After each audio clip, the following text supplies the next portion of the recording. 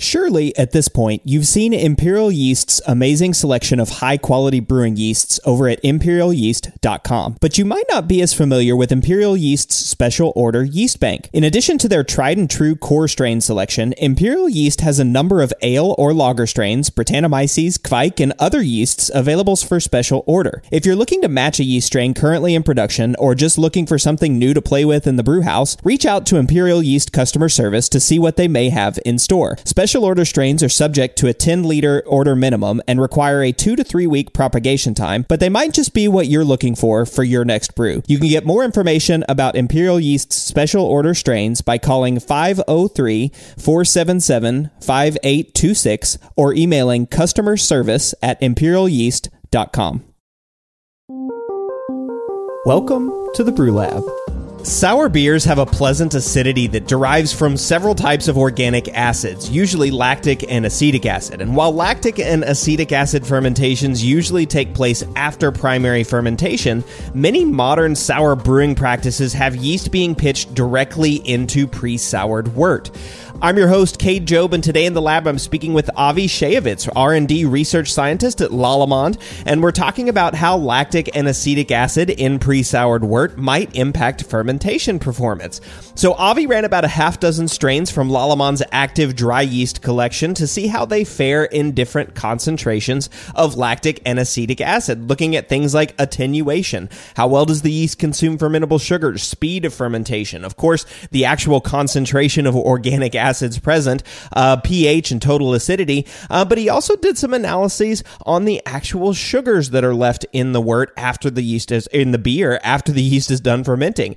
Um, some takeaways: some yeast are actually impacted by the levels of lactic and acetic acid present in wort, so that's a pretty big takeaway. But again, one of the more interesting findings to me from this study is the sugar analysis. So without giving away too many spoilers, the presence of acid affects some yeast ability to take up sugars and turn it into alcohol, specifically maltotriose. So some yeast's ability to consume maltotri- uh, maltotriose is impacted by the presence of lactic or acetic acids. Pretty cool results. We'll dive into why that is and get some more results in just a few minutes. We're nearing the end of the year, which for me is a time of reflection and thankfulness. I'm grateful for all of the team here at Brülosophy, everything that we've been able to accomplish here in 2022, the support that we receive from our listeners, and of course, our patrons. So becoming a patron is a fantastic fantastic way to support the work that we do. If you haven't yet considered becoming a patron, please go take a look at patreon.com slash brulosophy.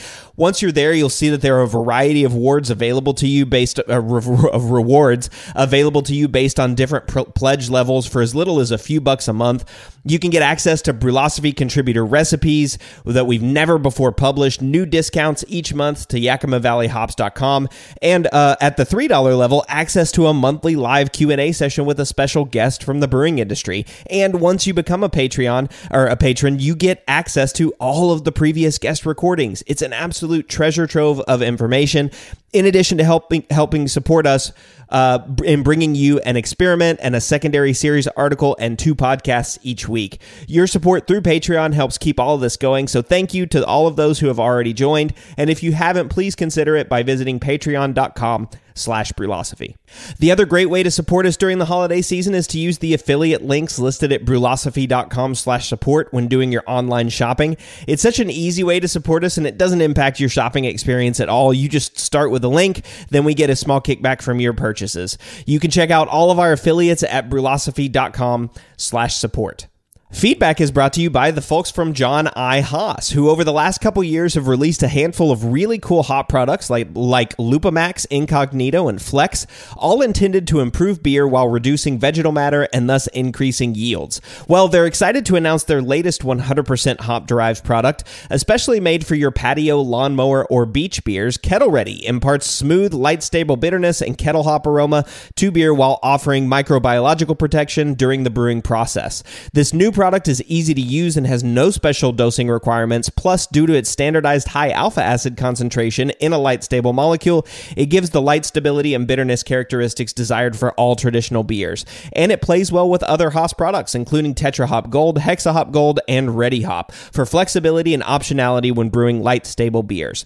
Learn more about Kettle Ready at johnihaas.com. That's John, the letter I, H A A S.com. All right, listener Chris wrote in with feedback about episode 89 with Dr. Lance Shaner about olive oil and oxygenation. He says, Hi, Cade. As I listened to the experiments you discussed in episode 89, the thought that kept popping up was how much oxygen was already present in the worts without artificial aeration or oxygenation.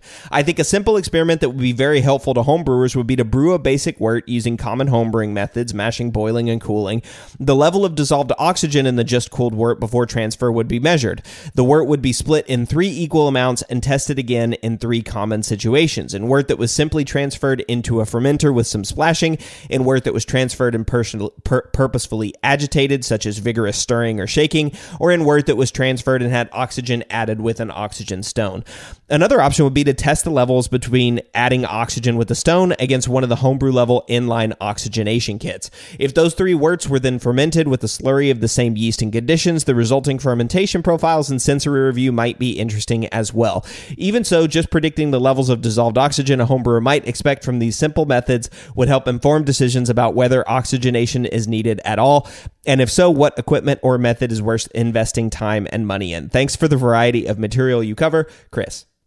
Hey Chris, thank you. Yeah, um, yeah, you got it. I mean that this that was one of the biggest questions about uh, this whole episode. The question is how much oxygen was present in the worts, or more importantly, um, how much ergosterol was already present, or were the yeast able to assimilate based on the oxygen that was present? Um, and in every experiment, I mean, Dr. Shaner or Lance mentioned this quite a few times. That in every experiment there was either oxygen or ergosterol present, um, and he suggested the only way to truly test whether olive oil could be substituted would be to take it out several several generations with no oxygen ingress at all, uh, which would be de- very difficult. Um, with respect to your question for for homebrewers, like how much oxygen can you anticipate getting into wort? Um, that's a really interesting one. I'd love to see that. I'd love to see somebody do that, measure the oxygen in it. Um, although I'm sort of suspicious about whether or and to the ex- and the extent uh, that uh, that oxygenation uh, impacts your wort. We've done a number of oxygenation experiments at Brülosophy. I encourage you just go to brulosophy.com um, and type in oxygen, you'll see like we did one where we directly added oxygen to a British Golden Ale versus no oxygen. We did over oxygenating a New England IPA. Uh, we did two ox- two doses of oxygen um, in an Imperial Stout. We did a shaken fermenter versus no oxygen in a cream ale there's a whole lot um, of experiments. Again, just go to brulosophy.com and search oxygen. Um, and, you know, the results are mostly on the thumb of the oxygen didn't seem to matter. Now, again, Brülosophy does suffer for, or not, not suffer, but Brülosophy does have uh, the, the direct pitch of uh, imperial yeast. So the yeasts are also already healthy whenever we pitch them. Um, we do have uh, some plans to do uh, generational experiments in the future, but those just haven't come out yet. Um, so I'd say that's where we're probably going to see more impacts of oxygen. Uh, but yeah, if you're interested in knowing the exact amount of oxygen that's getting into your wort, I'd also encourage you to go look back at episode. Um, I I should have written down the number, but I didn't. But it's the episode with Luis uh, Luis Castro, uh, the Brü Lab episode, where we talked about oxygenating big beers, the impact of oxygenation um, in high gravity brewing. So I'd encourage you to go back um, and, and, check that out as well. But thanks for the awesome question, um, and thanks for the feedback, Chris. All right, I'm going to go uh, take a quick break, and then I'll be back with Avi Shayevitz talking about the impact of lactic and acetic acid on brewers' yeast.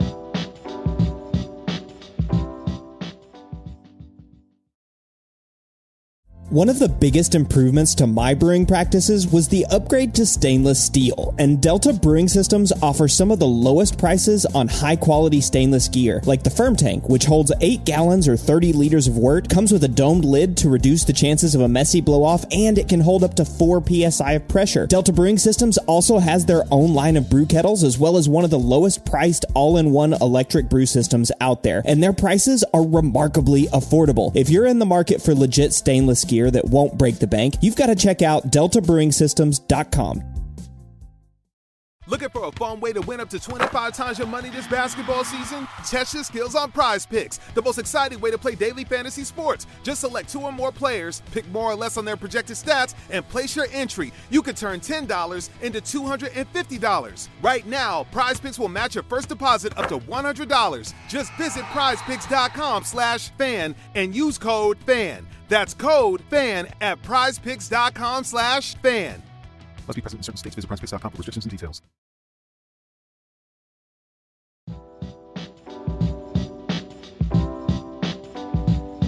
Sour beers derive most of their sour flavor from bacteria that produce organic acids like lactic acid and acetic acid, which can be poisonous to brewer's yeast at high enough concentrations.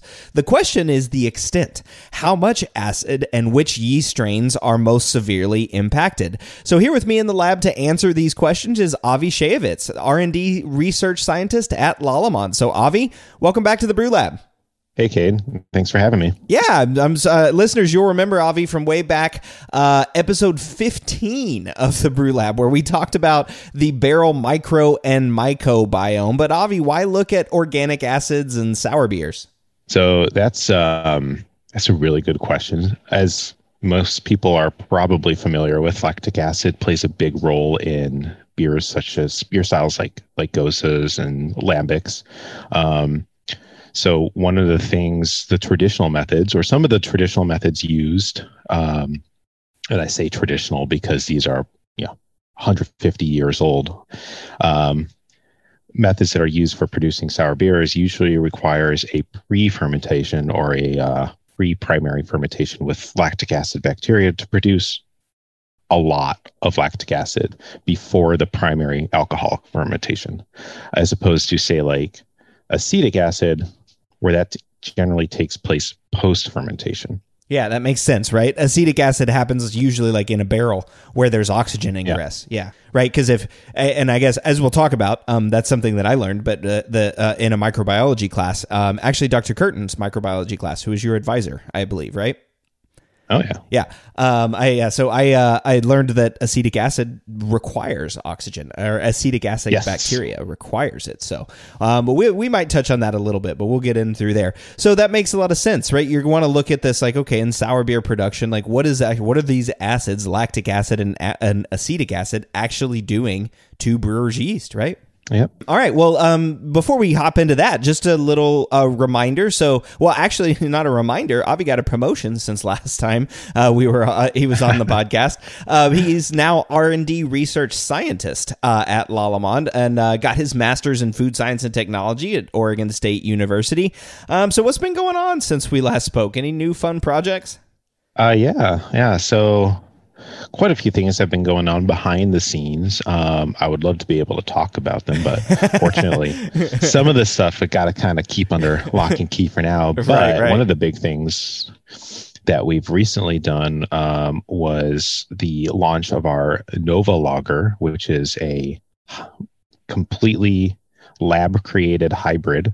Um, it is it is genetically uh, a Saccharomyces pastorianus, but it was kind of like a very guided, um, very forced breeding. Uh, yeah. So this is uh, created entirely using um, non-GMO techniques. So it's not a GMO yeast. Um, it is a what we kind of tentatively call a type three lager. okay. So you know how you have your type one and your type two, your Saaz and your Frohbergs. Mm-hmm. Uh, so this is this is type three, and it's actually um, it's super interesting because this is um, specifically created to um, significantly reduce hydrogen sulfide production during ah. um, uh, lager fermentation, which should translate to faster maturation times.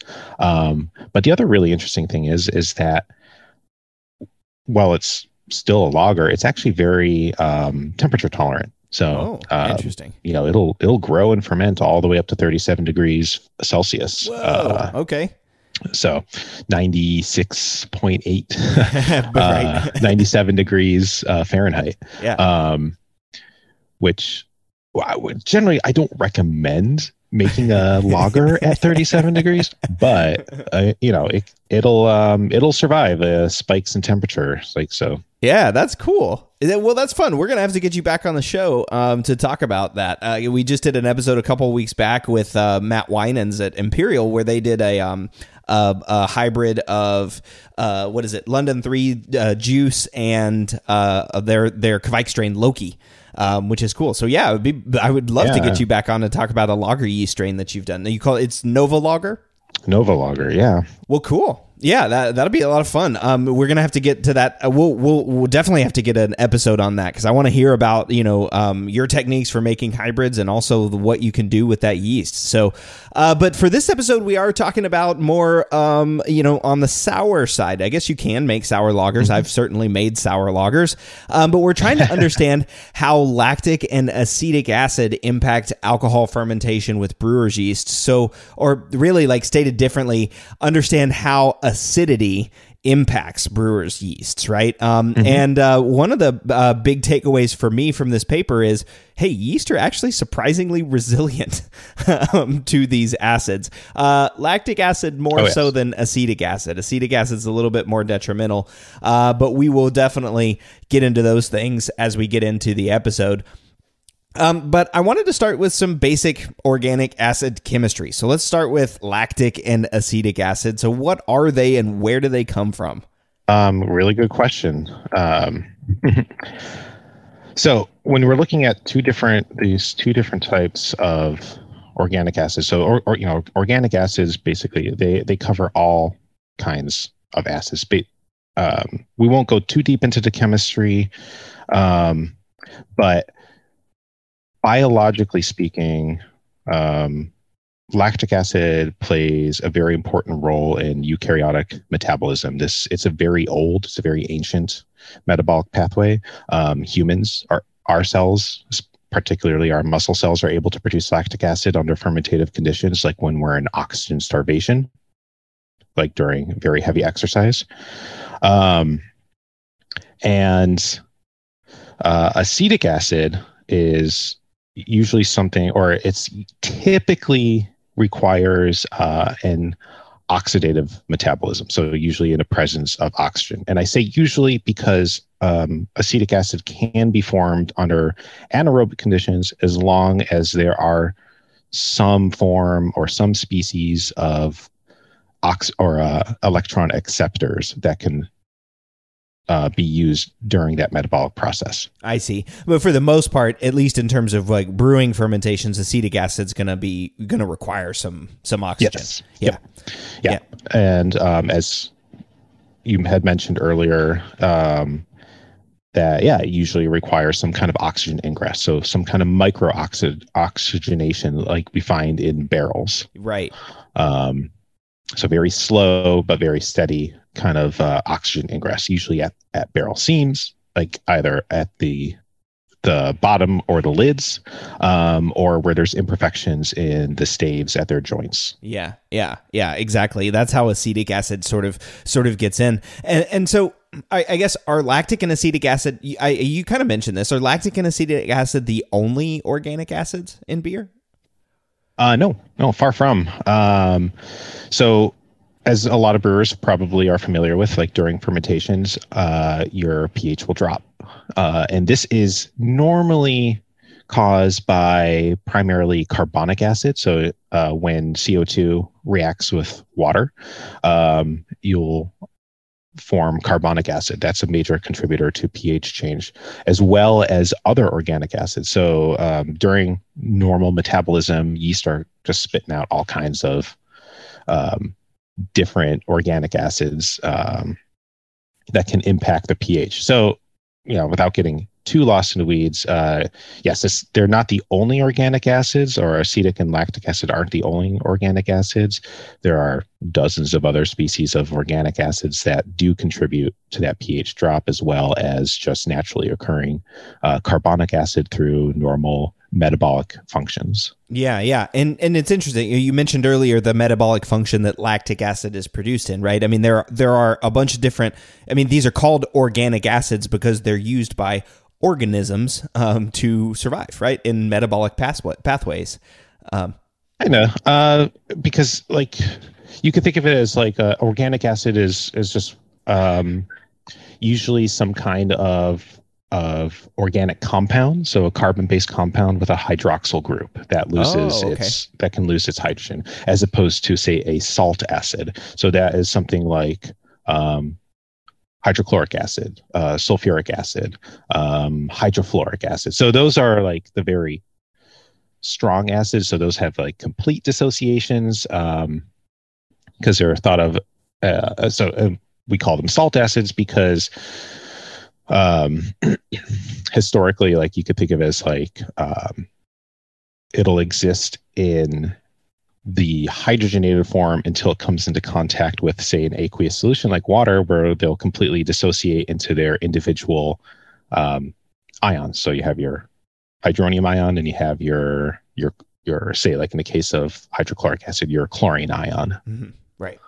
So the yeah they they donate their proton. That's what um, you know reduces the pH because pH is a measure of uh, the amount of of of uh, uh, uh, hydronium ions that are released. Right. Um, yeah. So yeah. So we can kind of think of it as like ion activity of specifically the hydronium ions. Yeah. Exactly. And, and so well back to sort of l- l- lactic and acetic acid. Why would brewers want lactic and acetic acid in their beer? Mm-hmm. Yeah. So those they contribute very distinct sensory characteristics. So you have your very the way that we interact with these acids on a physiological level, um, our organo, organoleptic perception, so to speak. Um, these have uh, either inherently pleasing or interesting properties. So, uh, you know, as as humans, we kind of look for things that we enjoy or specific flavor uh, experiences. Um, that's why things like kombucha are oh yeah so liked uh, because of that strong kind of acetic acid bite. Whereas like with organ or with uh, lactic acid, you kind of have like that smooth, round kind of mouthfeel to it, where you kind of get this nice tartness at the right level. So what brewers are looking for are those specific kind of uh, sensory experiences. Right. Yeah. And well, and especially in like you were talking about sour beers, right? I mean, beers that mm-hmm. that are going to have that little um, spritz. I always like to think of it. I mean, this is probably a better for for citric acid, but I always like to think of it as spritzing lemon on a piece of fish. You know, um, it just sort of elevates the whole experience, the whole like you said, organoleptic exactly. experience of the fish. Yeah. Mm-hmm.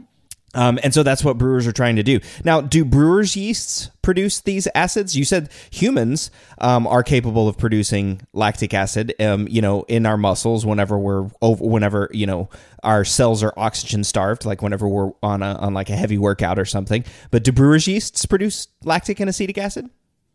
Generally, no. Uh, not, at least in not in any significant quantity. Mm. Um, so Saccharomyces cerevisiae will not naturally produce significant quantities of lactic acid or acetic acid. Um, when you do find when you do find significant quantities of those in your beer unintentional that's usually indicative of some kind of contamination yeah like a bacteria or something yeah yeah or maybe or you know even like brettanomyces so like some oh, yeah some yeast will are capable of producing lactic, lactic acid like in detectable quantities, but usually with Saccharomyces cerevisiae, it tends to be more of say like a random side chemical reaction. Mm, I see. Yeah, not something that the yeast is actually producing, right? Because they, we talked about this metabolic pathway, right? I mean, there's there's the lactic acid pathway. I think Krebs cycle, or I think it's tricarboxylic acid. I think that's right. Yeah. uh, pathway. Yeah, the TCA cycle. Um, but those are that's one metabolic pathway that you can use glucose through glycolysis to generate energy. Um, and that's one pathway that, that people do it. So when our cells, when we're oxygen starved, we can do that to uh, generate energy.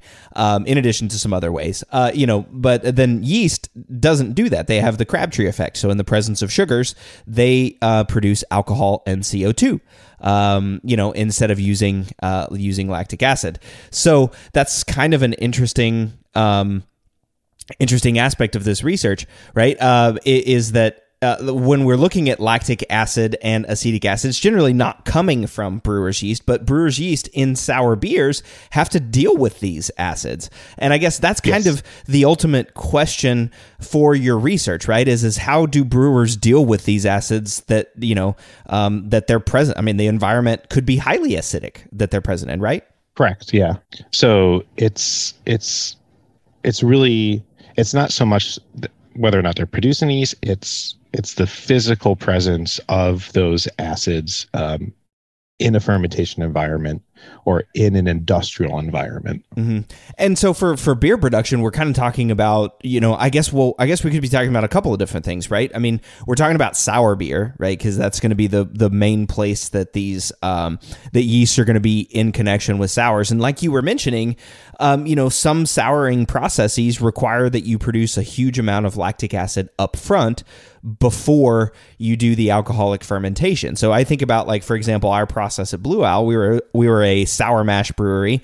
Um, and so uh, you know whenever I worked there it was you take the wort, you, um, you inoculate it with lactic acid bacteria and some other things, and it produces a lactic, uh, a sour wort that we then boil, add hops to, send it over to the fermenter, and then pitch our yeast. Um, and it's certainly a stressful condition for yeast, right? Because yeast aren't used to operating. They like that pH in the, you know, four to five range, not the three that um, is present in a lot of uh, sour beers, right? Yeah, they. Um, I mean, so that's that's one of the great things about fungus in general is uh, they are survivors. Um, this is a very they're they're very tough, um, and they can survive a very broad range of uh, a very broad pH range.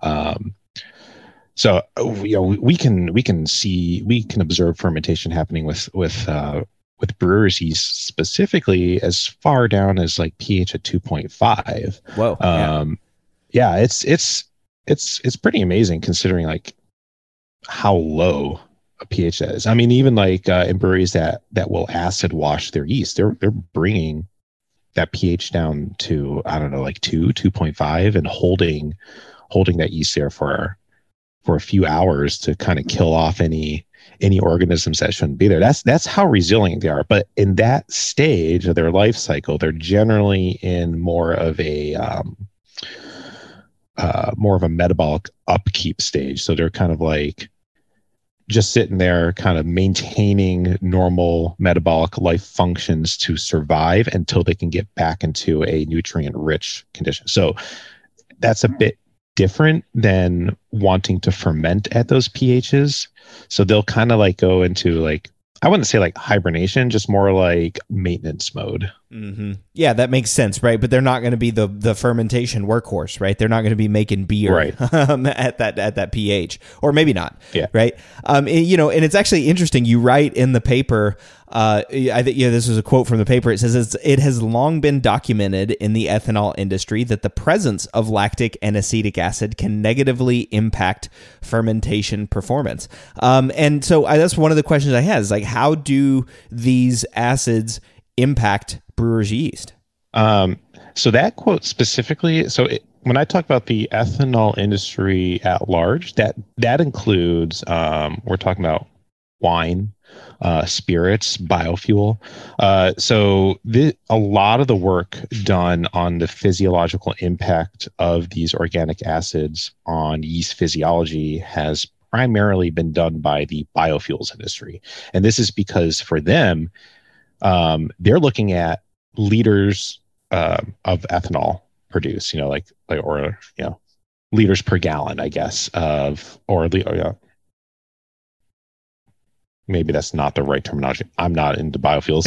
right, right, right. No, it's all good. Um, but yeah. essentially, they, they need to maximize the amount of ethanol that they get per gram of glucose. Mm-hmm, mm-hmm. Right. So for them, any drop in in efficiency can translate into a lot of money that's potentially not being made. Um, because you know these run on pretty tight margins so you need to maximize that efficiency. So when we're looking at say biofuels or the distilling industry like yeah um, organic acids are very tightly controlled.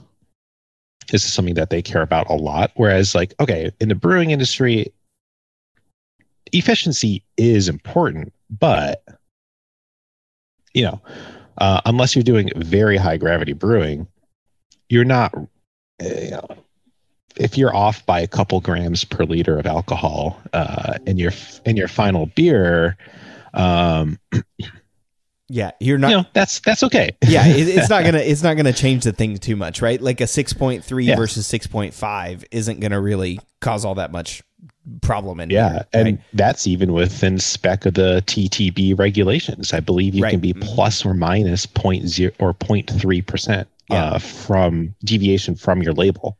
So yeah um, now you know it is a big deal if like you're off by a, a full percent, and that can happen, uh, particularly like with stuck fermentations. And this can be a big issue if you've already have like all of your labels printed out. Um, so you know nobody wants to get hit by those fines. Nobody wants to have their product pulled by by the feds um, because of something like that. could could like the the fermentation efficiency be impacted that much by the acids by like lactic or acetic acid Uh, surprisingly, yes. okay Um, but that's when you're dealing with concentrations of these acids that are beyond comfortable for for most people's tastes. okay Um, that's like when you're seeing like up to say like 11 10 to 11 grams per liter of lactic acid okay uh, and even and even with like acetic acid it doesn't really take much for us we're very sensitive to acetic acid in terms of of detection it's a very low flavor threshold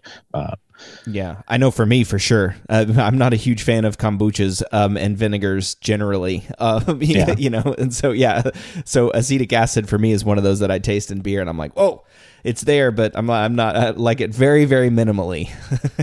but yeah what, exactly so some then- people love it but some people hate it Exactly. So then what is what would be a sort of normal concentration range for these acids in beer? Uh, I guess I could really only speak from my own sensory training, but for me, um, ranging between say four grams per liter to about six grams per liter of lactic acid is pretty comfortable. Uh, that's kind of like a, a good range for a nice, refreshing sour, uh, but without it being, you know, enamel stripping or Yeah. mouth puckeringly, uncomfortably sour Yeah. um, that was one of the things that we dealt with with our with our GMO yeast, the Sourvisiae, uh, because it is so efficient at producing lactic acid um, that you know if people people want 11 12 grams per liter of lactic acid that's great. Uh, but you know blending down is also a really good option for that that's a good one. That's that's an interesting one. You bring up a good point too. Sourvisiae is another episode that I want to get you on um, here to talk about too, because I know you were involved in uh, the production of that yeast uh, as well. Um, and so, okay, you uh, you also write. Um, well, actually, I mean, well. Not necessarily Sourvisiae related, but I thought it might be a, se- a segue. But because you also write in here that dry yeast might be advantageous over slurries, and I just think of that because I think of Sourvisiae coming, or well, really most Lallemand yeast coming in, um, you know, the dried yeast pouches uh, or packs, um, you know, um, and so why is that? Why would dry yeast be advantageous over yeast slurries?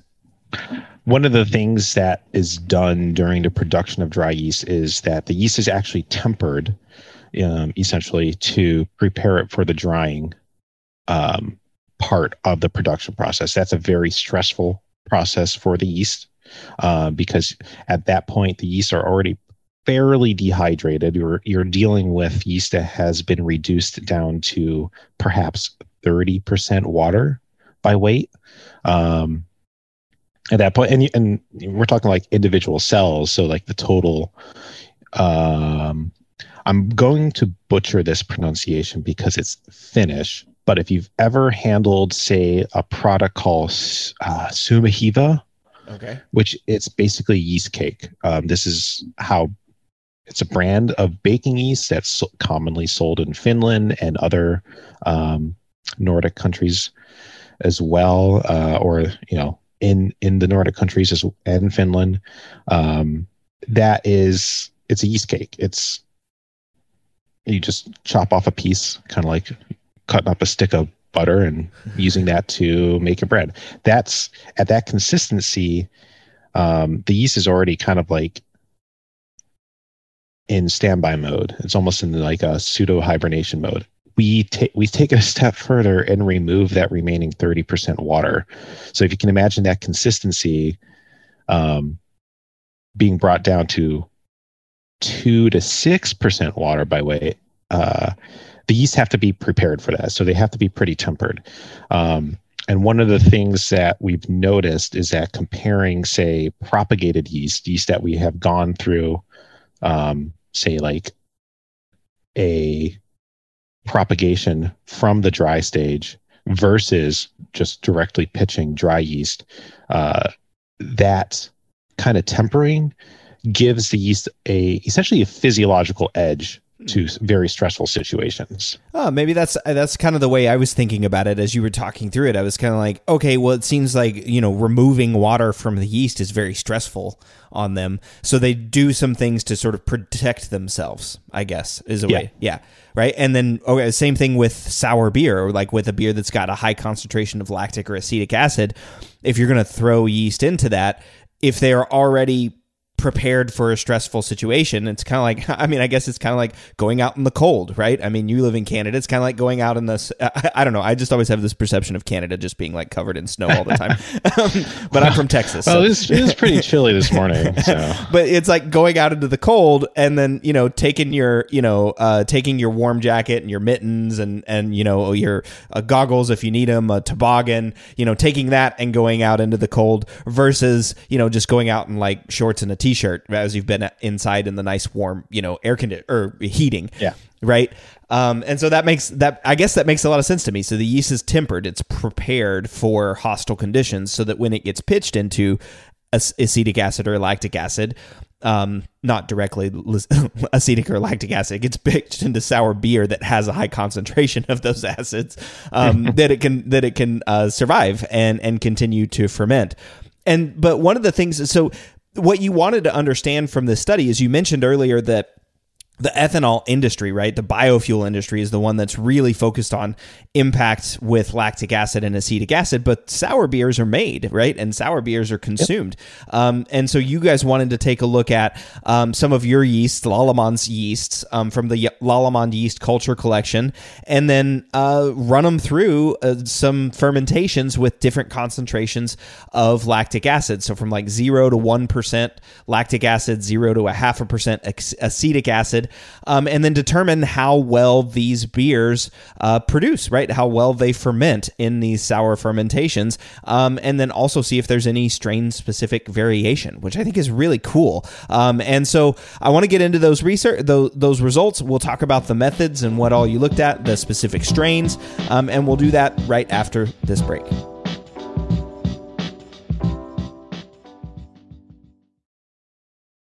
We all know that designing recipes is really fun, and doing it well is so much easier with good software. We at Brülosophy recently made the switch to Brewfather, and honestly, y'all, we could not be happier. Brewfather utilizes the latest technology to bring you the most robust cloud based recipe design software that can be accessed anywhere on your phone, tablet, desktop, and even offline. It also works seamlessly with numerous third party devices to make it easier to monitor every step of your brew. I know change can be difficult, but trust me when I say you need to go to brewfather.app today to try it out for yourself. That's brewfather.app.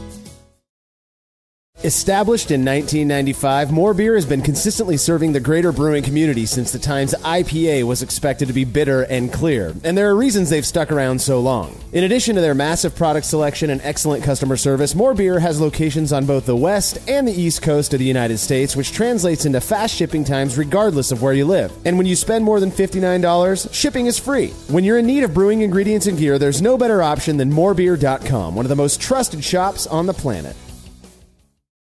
Looking for a fun way to win up to 25 times your money this basketball season? Test your skills on PrizePicks, the most exciting way to play daily fantasy sports. Just select two or more players, pick more or less on their projected stats, and place your entry. You could turn $10 into $250. Right now, PrizePicks will match your first deposit up to $100. Just visit prizepicks.com slash fan and use code FAN. That's code FAN at prizepicks.com slash fan. Must be present in certain states. Visit prizepicks.com for restrictions and details.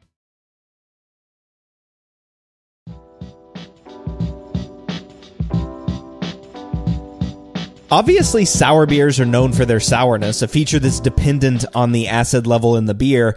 And that mixture of acids and their concentrations is important. And depending on how high and which acids are present, might negatively impact some of the fermentation characteristics of brewer's yeast. So, Avi, during the during the break, I was thinking um, you were on for episode 15 where we talked about barrel biomes, and now we're talking about sour beer.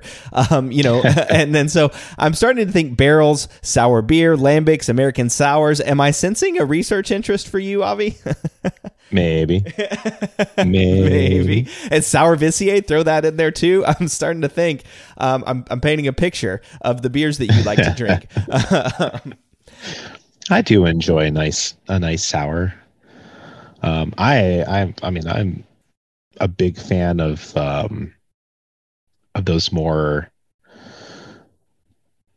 Belgian styles. So nice a nicely blended lambic or I guess uh, a Rodenbach would be a really good example of that. yeah. I don't Yeah. know. There's just there's just something about it.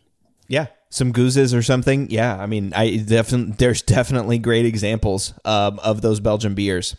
Um, well, and so let's get into then the study. So you know, um, I guess having this interest in sour beer, it makes sense that you wanted to look at and see, um, you know, how yeast, how different yeast strains are impacted. So uh, the first thing that you did was prepare some wort, um, and I think uh, you you used uh, two different kinds of DME, but it was Briess DME to 12 degrees Plato or 1048 OG, um, and just did this in one liter bottles, and then added whatever acid concentration you were going to use, and we'll get to the acid concentrations in just a second.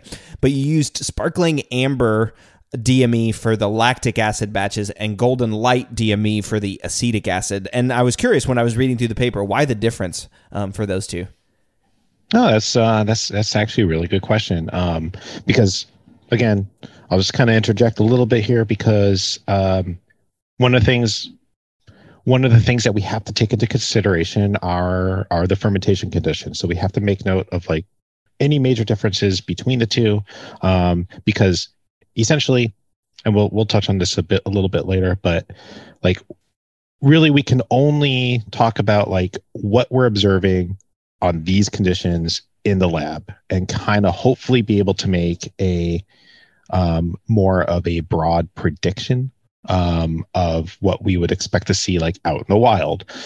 Really, the functionally speaking, the sparkling amber uh, DME and the uh, golden light DME are functionally identical. Uh, the only difference is, is like one is just um, noticeably darker, and it's not even a major difference on the Lovibond scale. It's we did this just for uh, backup in case labels were lost or something. Ah, so it's a I see. quick visual assessment. Yeah. Um, but as far as ferment, um, as long as ferment, as far as fermentability is concerned, um, total yeast available nitrogen and free amino acids, uh, they're pretty much identical. So really, it just comes down to appearance um, and you know taste. They do taste like the the sparkling amber is slightly roastier compared to the golden light, which is essentially just a two row extract. Mhm. Um,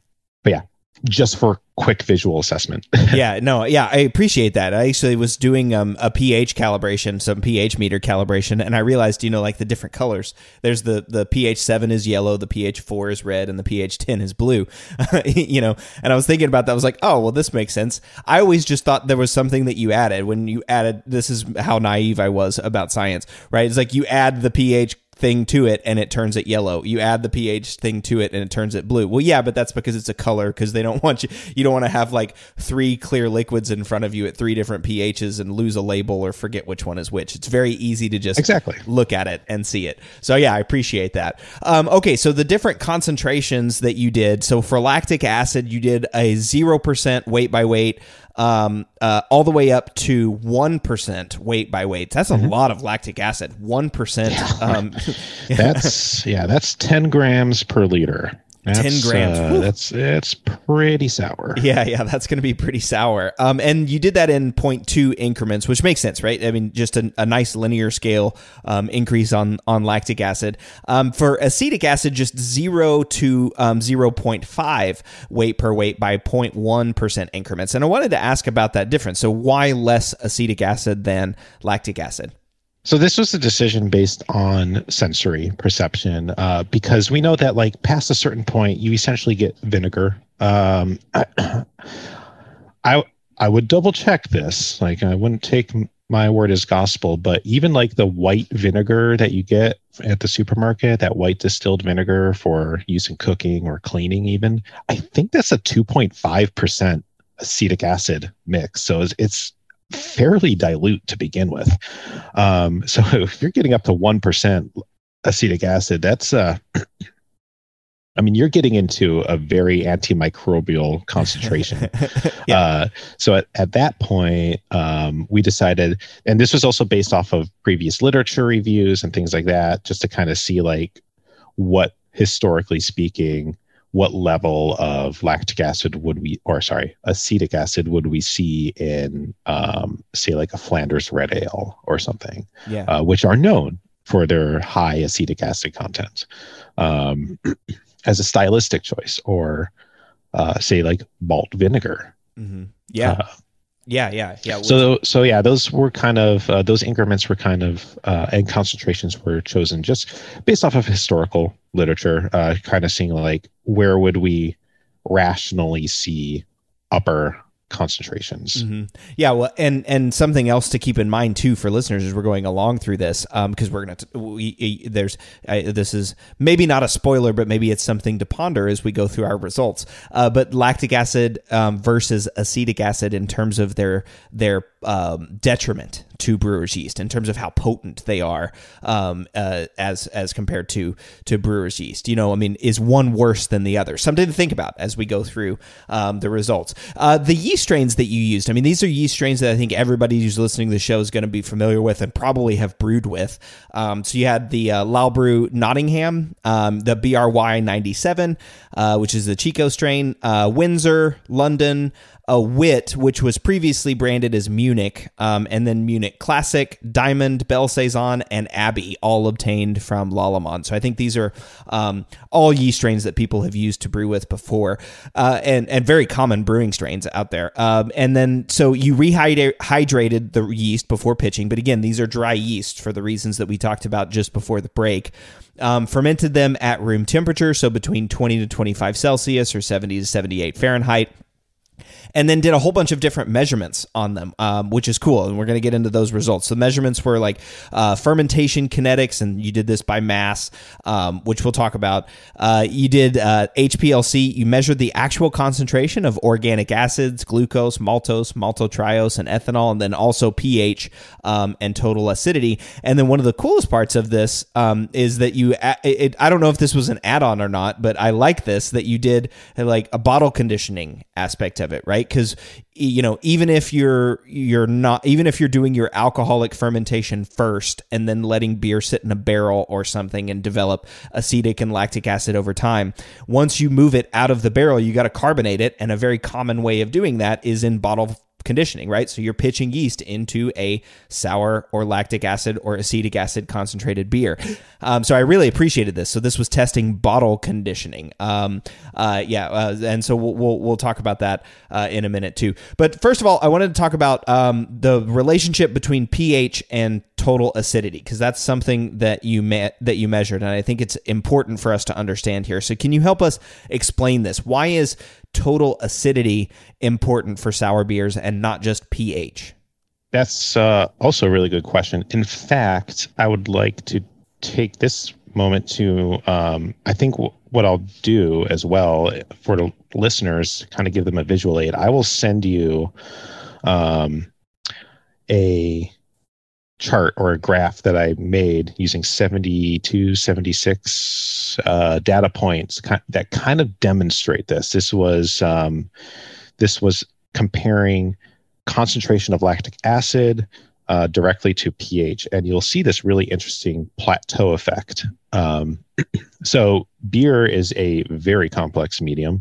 The wort in particular is full of all kinds of um, chemical compounds. So you have uh, complex tannins and proteins and starches, sugars, different kinds of sugars, different kinds of carbohydrates, vitamins, minerals, um, all kinds of stuff just being extracted during the during the mashing process and all of those have some kind of impact on the ph of the wort and um, impact the final constant or the final impact or the final pH of the beer in part due to metabolic and functional and chemical changes done by the fermentation process.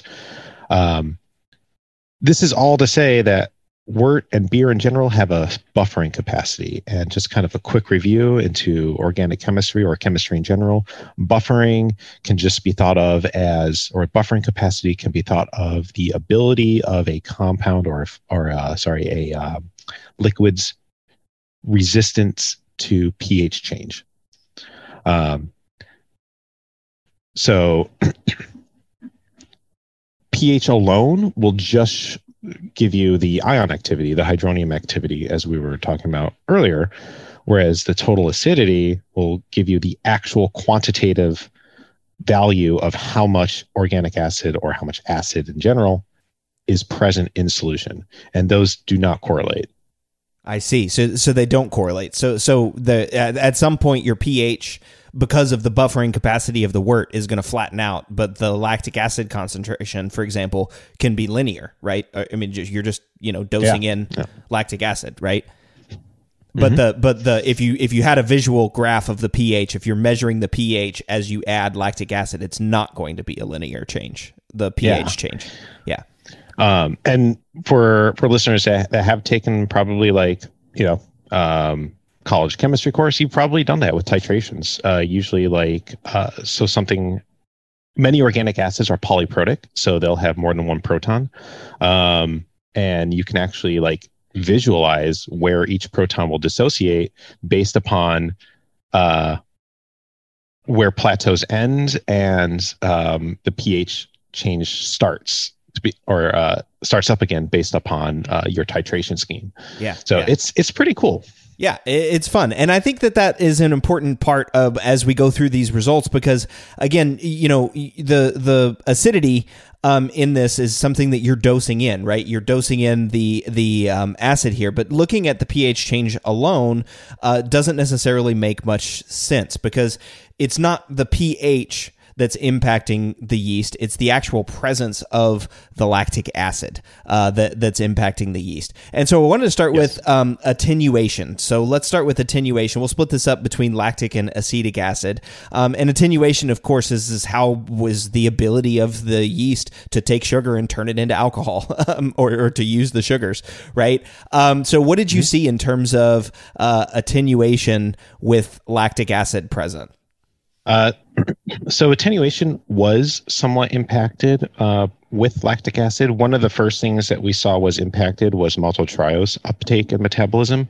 Uh, so as we increased lactic acid concentrations, we saw that there was lower uptake or lower use of the of maltotriose. And this was quantified using HPLC, and so we were able to um, watch essentially in real time that uh, the more acidic or the more lactic acid that was present, um, the maltotriose use was impacted, therefore lowering um, ethanol yield. Hmm. Interesting. So yeah, well that, that's that's interesting, and, and so the some so all of the yeasts then um, even the ones that would normally use uh, maltotriose uh, had their ethanol yield reduced. I guess that's a, well. Let me let me back up. Let me say that differently. So some of the yeast strains that you tested are known. Or in fact, most of them are known for using for their ability to use maltotriose. But there were a couple right. that don't have that ability to use maltotriose that are known for that. Correct. Um, and, and so um, those ones that that don't have that ability, um, I guess then maybe weren't impacted by the yeast because they they uh, didn't they didn't lose the ability to ferment maltotriose, or am I off base here? Exactly. Yeah. So like the Windsor and the London brands, um, those are known to not be very efficient with maltotriose. In fact, like that's why London is popular um, for use in say lower ABV beers. Mm-hmm. Um, because of that. Uh, you know, in in a standard wort, you could think of maltotriose as making up of upwards of say 14% of the fermentable sugars. You know, if you, if you're not using that 14% that's that can impact you know that'll have a big impact on final attenuation. Um, Belle Saison was another one although Belle Saison is an, it's an interesting case in that it is sta positive so it is producing a beta glucoamylase and excreting it. Um, so at those pHs now we, we, we can backtrack a little bit because like you know what, what you said like pH doesn't really matter and and it's more of uh, the concentration of of um, the acids uh, I mean that's like a case by case basis because pH does in fact matter pH the activity the relative activity of your hydrogen ions um, or your hydronium ions will impact say like um, optimum activity of certain enzymes. Um, so that is more of like uh, an electrochemical sort of thing because it impacts like how how the enzymes fold, et cetera. But you know that, that's an entire lecture for another day, right? Um, yeah. But for our purposes, yeah. So we can think of as like the beta glucoamylase that Belle Saison produces um, is active into very low pHs. So it'll just keep, keep breaking down those starches and those sugars, even maltotriose, into glucose. Yeah. So the Belle Saison really won't have much of an issue because, like, okay, even if its maltotriose uptake is take uh, is impacted, Mhm. it's it's still able to passively take up glucose quite quite well. Right, right, right. Because it's got the uh, it's got that active um, enzyme, and so yeah, I, I see what you're saying, right? Like pH does impact other things, right? pH impacts enzymatic activity because some enzymes work at certain pHs and some of them don't, right? They they have different functions at different pHs, um, and, and so yeah, that that makes sense. And Belle Saison has this glucoamylase, um, the you know the STA one, the diastatic. Um, you know, gene that makes it uh, ability that makes it a really uh, it convert those longer chain sugars into, like you said, glucose um, that that it can um, easily assimilate. So that makes sense. So Windsor, London, and Belle Saison, um, they they attenuated up like as normal because Windsor and London don't readily consume maltotriose. So the other yeast that had their maltotriose functions impaired, um, you know, it didn't really impact them. And Belle Saison, because it's got this extra amylase out there, it's going to be able to chew through maltotriose anyway, even if it was, you know, it, it you know, it doesn't necessarily need to have a maltotriose assimilation because it's got this this enzyme that will break down maltotriose and other sugars into glucose anyway. Is that right? That is a good succinct description. Okay, yeah, well, hopefully, um, and hopefully that makes sense uh, to people. Uh, it makes sense to me. Uh, but so then that's that's interesting, and like you said, all of the other strains saw this, um, you know, reduction in attenuation with increased lactic acid concentrations. That just means like the yeast aren't as capable of assimilating those sugars and turning them into alcohol in the presence of higher concentrations of lactic acid, which I think is makes sense, right? I mean, uh, that's one of the things that we're talking about with the bioethanol industry that they see higher concentrate that they see concentrations of lactic acid impacting yeast. So that's a very easy one and a very quick one to understand is that yeah, lactic acid is actually impacting fermentation performance for most yeast strains at high concentrations. Well, what about um, acetic acid? Yeah, so acetic acid seems to have a much higher impact on overall ferment, fermentation performance. Um, and again, like we also saw the same kind of behavior with uh, with Windsor and London, where there really wasn't much of a change in attenuation between or at at all of the increments that we've added. Whereas like the other strains that we looked at, the other brands that we looked at, um, saw a pretty high impact on total attenuation or percent attenuation uh, when when impacted by or sorry when influenced by uh, acetic acid.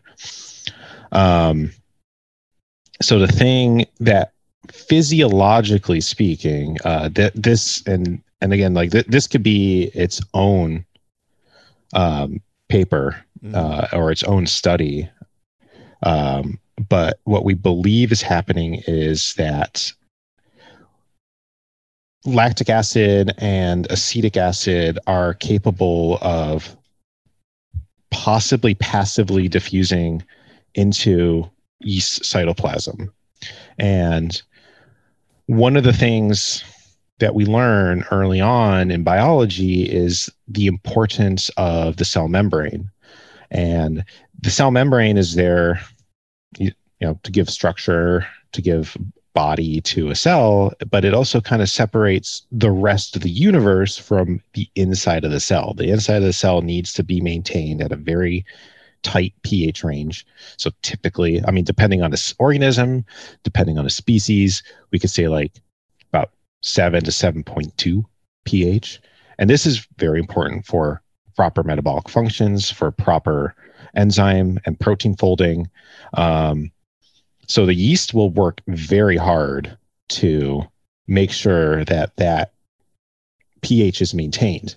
And what we believe is happening is um, one, the pH change and the specific chemistry involved with each individual organic acid or the with their individual organic acids are one disrupting uh, proton symport so this is an important mechanism that uh, cells will use to allow sugars and other nutrients to be brought in, inside the cell.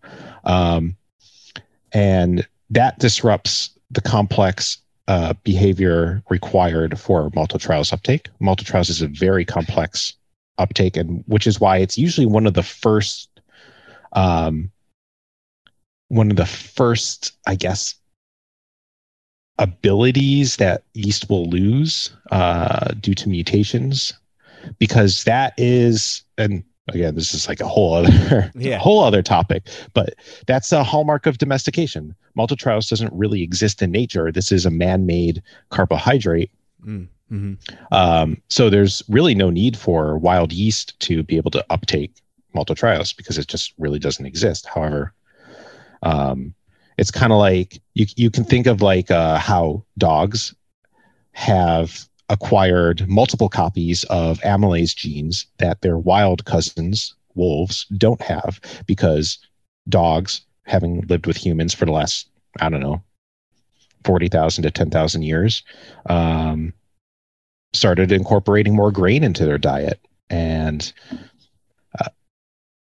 uh, having multiple copies of an amylase gene to break down starches in their mouth and in their, in their saliva and gut is more advantageous than if you're a wolf.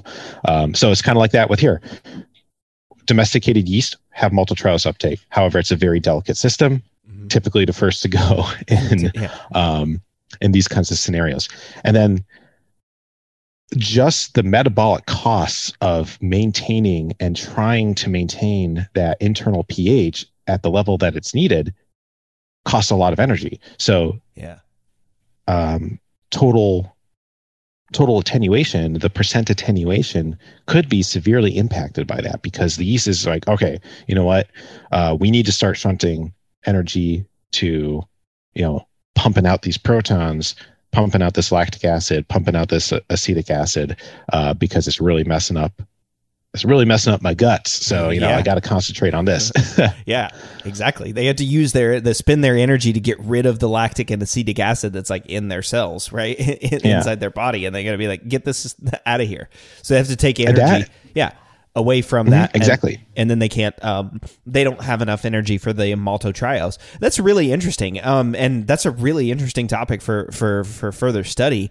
Um, if somebody's going to look at that or maybe you are um, going to look at that as well avi but that's really cool. And that really does explain a lot of the results that you saw in terms of fermentation right? You or in terms of attenuation. You did see decreases um, you know, generally across most of the strains because they lose this ability uh, to assimilate maltotriose. And one of the coolest parts about this too is you're able to see this uh, very clearly because you did HPLC analysis of the sugar concentration, right? You look at glucose, maltose, and maltotriose, um, and you can see what sugars are actually taken up by the yeast. So one of the things that I found interesting was that you showed that all of the strains fermented maltotriose at all levels of lactic acid, except that Nottingham seemed a little bit susceptible. It was impacted um, at concentrations of lactic acid above 0.6%.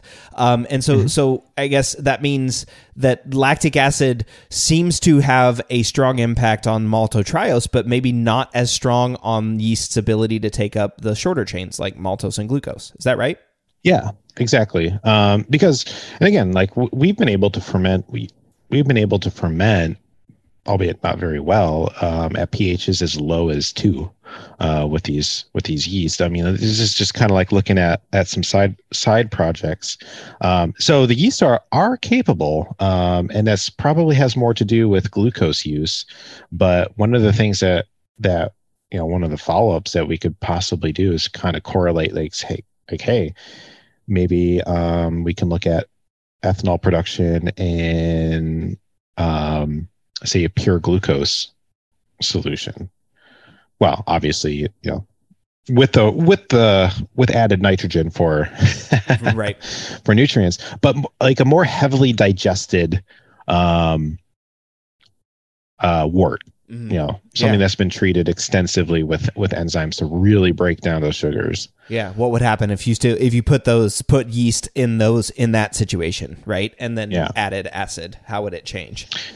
Yeah. Because we do know like looking at nottingham and stuff for say a use in hard seltzers and hard seltzer fermentation uh, nottingham does fine like it's it's really you know as long as it's provided with the right nutrients um, those phs drop like crazy if you don't buffer your solution carbonic acid effect Yeah. um, I mean, you can you can go from like a pH of, um, say, like a starting pH of six, all the way down to below three Wow. uh, in less in less than twenty four hours. Just because again, you're dealing with water, you're not dealing with wort, and um, wort has a lot of buffering capacity that uh, even adjusted water or you know water that's been provided mixed in with with nutrients can't do. yeah. Yeah. Yeah. And that but make you're just dealing with glucose. Yeah, exactly. You're just dealing with glucose, right? It's not maltotriose that's being required or maltose that's being required to be upta- uh, to to be uptaken, uptook. Uh, either way. yeah. Um, yeah. I don't know, whichever one. um, uh, but but you you uh, stated this really well in the paper, and you said maltotriose uptake was severely impacted relative to maltose uptake, even at low uh, acid concent- low lactic acid concentrations. You said the exception being London and Windsor, but this was expected because those two strains uh, lack the ability to take up maltotriose. Belle Saison, however, maintained the ability to use maltotriose up to even 0.5% uh, acetic acid, which was the highest level um, of acetic acid. So this is kind of that whole thing that we've been talking about, right? It's like the maltotriose uptake seems to be what's really being impacted by acids. Um, London and Windsor don't even have the ability to uptake maltotriose, so those two strains we don't expect them to be impacted by losing the ability that they don't have. Um, and Belle Saison has that extra glucoamylase, um, and so that helps it break down the sugars into maltose and, and and glucose. And it's really interesting to think about this in the way that you said, right? It's all about energy. It's about the energy spend. Maltotriose requires more energy than glucose and maltose requires for the yeast to assimilate. Yep. Cool. All right. Last part of the study then uh, was bottle conditioning, um, and this was cool, right? Um, uh, I I love this. I don't know. Was it an afterthought? I, I hope it wasn't an afterthought. I hope it was like baked into the study. But it does seem like Oh, to yeah, me yeah, it was like yeah. to me it was like oh duh of course we should bottle condition these beers right because that's that's like it's going to happen every time um, that you're doing some sort of uh, you know if you're in bottle conditioning bottling a sour beer you're going to expose yeast to acid. It makes a lot of sense. Um, and one of the three things I wanted to ask uh, so you you you took the beer um, you put it in um, uh, bottles, or I'm sorry, you took the wort solution and you put it in bottles, and then you added concentrations of lactic, the same lactic and acetic, so the same concentrations, um, and then uh, put those into the bottle, but didn't um, purge the headspace. So there's oxygen in the bottle, and I wanted to ask about like why not purge the headspace? Is that because of what we were talking about that acetic acid requires oxygen, or is it something different? No, so th- that was mostly just due to the limitations of the equipment that we had um, for this process. Um, So it's we we we left as little headspace as possible, um, but you still want like some headspace, uh, just just for any pressure that builds up. Um, but yeah, that was just that's just a, a a clarification because one, we weren't really concerned too much about the sensory of the beer. we just sure. wanted to make sure that um, whatever gas could dissolve into, you know, or or like whatever extra secondary CO two could be formed would be able to redissolve back into into solution just to see if we could get that satisfying hiss when we pop the bottles. Well, right, Um, right. But nobody's drinking those beers, right? Yeah, nobody's drinking the uh, you know half a percent acetic acid or or you know yeah, yeah. So uh, it really wasn't there for sensory. It was just there for more of a um, functional test. Yeah, and so what did you? Oh, and then also the other thing too is you added the champagne or the um, I think it's the champagne yeast, the CBC one um, yeast variety that I think you guys are, are recommend for bottle conditioning. Um, that one was uh, that one you used that yeast as well, um, and that one was more sensitive to acetic than lactic like the other ones, but it still seems like it did a hell of a good job. It still conditioned Yeah. the beer even at the highest lactic um, uh, levels. Yeah. Uh, CBC one's a pretty cool yeast. It was isolated from a very tough environment, so it's it's a survivor. Um, so this is something that that can has been shown to survive for multiple years in under um, you know bottled conditions. Um, so it was we were never really quite sure like what how robust it was but we knew that it was pretty robust. Not something we would recommend making an actual beer with, although it can. Um, but again, this is this the lineage of this yeast is also it's kind of like it's not very good at uptaking maltotriose itself. It's more of a glucose uh, uptake, kind of uh, fructophilic as well. Uh, so it could do well with sucrose, but um, you know, a high adjunct beer maybe. But yeah, this is it's much more suited for actual bottle conditioning Yeah. rather than beer fermentation. Yeah, when we're just going to add in some table sugar or some corn sugar or something like that um, to, Yeah. to to get it where it can ferment those those sugars. Well, that's uh, did you do that? Was it just that yeast that you did with bottle conditioning, or was it all the yeasts that you did with bottle Uh, conditioning? nope, just just that one. Yeah, that's what I thought. Um, but that's cool to see that that yeast still survives, um, and and you can still bottle condition sour beers. I mean, I've had a bunch of questions, several questions over the years uh, through the Brulosophy podcast, asking about sour and if you can bottle condition sour beers, and um, and because you know the pH is low or whatever, and I'm always like, yes, yes, you can. and like I've seen lots of people do it. It's been done for hundreds of years. Belgian gueuzes and lambics and everything, Yeah, you yeah. know, have been bottle conditioned Exactly. uh, for for long periods of time. So somehow the yeast is surviving in those um, highly acidic uh, conditions. Oh, even champagne. Yeah, champagne. There you go. Right. That's, Champagne's a very acidic environment. yeah, that, that's exactly right. With all that carbonic acid and and, and everything, I mean the pH is going is low on champagne already. Um, so yeah, I mean I can certainly see it. Uh, with some big takeaways from this episode, then. Um, so acetic acid was more detrimental to brewer's yeast than lactic acid, but brewer's yeast still performs fairly well. At least, um, you know, they they did lose some ability to ferment maltotriose, but they still were able to ferment wort um, under acidic conditions, which I think is really, really, um, really interesting. And the three yeasts that we talked about uh, the most were, were Windsor, London, and, and Belle Saison, right? Windsor and London didn't show a huge impact because they don't have the ability to take up maltotriose, and Belle Saison has that um, glucoamylase that they can excrete, excrete um, that sort of insulates them from being from having to ferment maltotriose.